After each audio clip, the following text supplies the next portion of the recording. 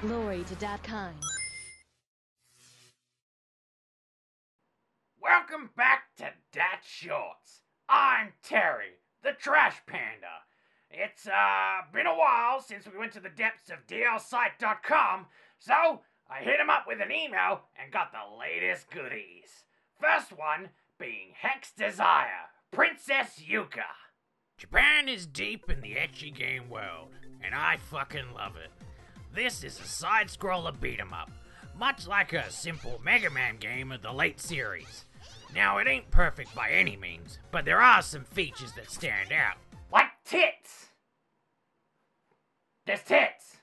Traversing each level, you fight, get groped, and even take battle damage, which we can see via the battle damage camera.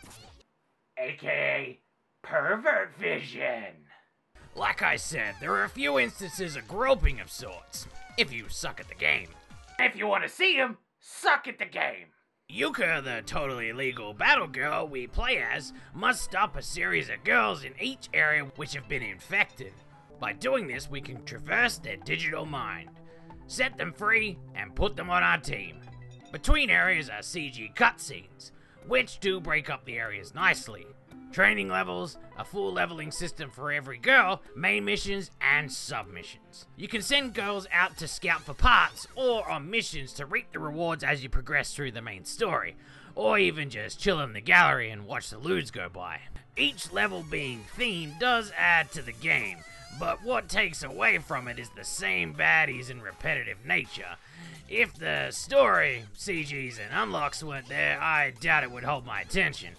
Finding each of the six pieces for the bonus CGs adds to me wanting to explore each screen, but again, it isn't too much in the way of glue. There's a lot going on for the game, but the little things hold it back. But only just. The elements of a side scroller are simple in design, but can get lost along the way. Maybe it's the clunky controls, I'm not sure what to put my finger on. It's got enough character to check out the game with its PlayStation 1 style music and retro look, but don't expect it to hold the highest standards we've come to know and love for the ecchi games of Japan.